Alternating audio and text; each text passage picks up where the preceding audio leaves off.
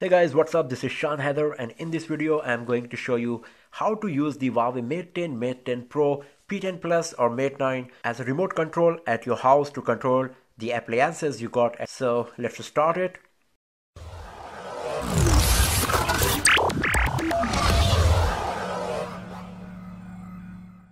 First of all, you need to go to the tools and here you will find an application called Smart Remote. If you tap on this, you will come to this screen and then it will ask you to add remote control. If you tap on this once again you will get a long list of different kinds of home appliances that you can use and also some gadgets with this smart remote control application on your Huawei Mate 10 or other Huawei smartphone.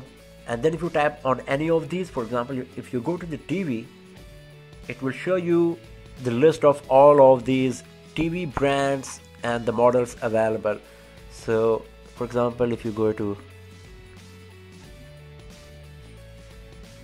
Sony then it will show you point your phone at the appliances and touch OK to send an infrared signal.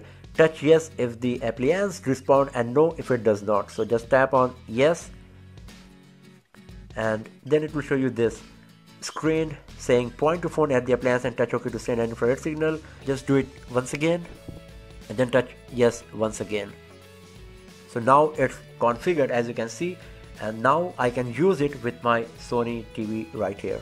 So if you just tap on OK then you will get this Sony TV remote control on your Huawei Mate 10, Mate 10 Pro or any of the supported Huawei phones. So you can see that you got the options for the channel you got the menu you got the expand option you can change the channel and volume here as well. You can even switch it off and mute and mute the TV so this is how you can set up the smart remote control on your Huawei Mate 10, Mate 10 Pro or any of the supported Huawei smartphone to use it with your home appliances.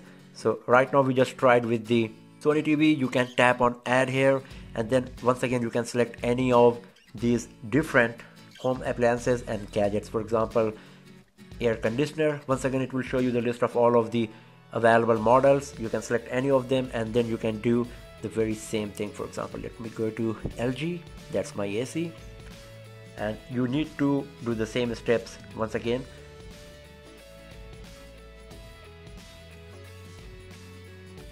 And you are good to go. Just tap on ok.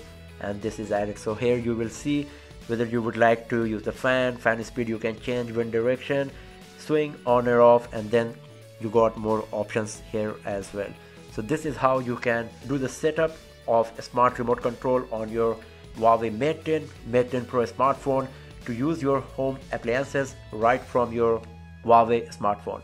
So that's all for now friends. Thanks for watching the video and do not forget to subscribe the channel for more videos, tips and tricks and hands-on videos like this. I'll see you guys next time in an another video. Have a nice day.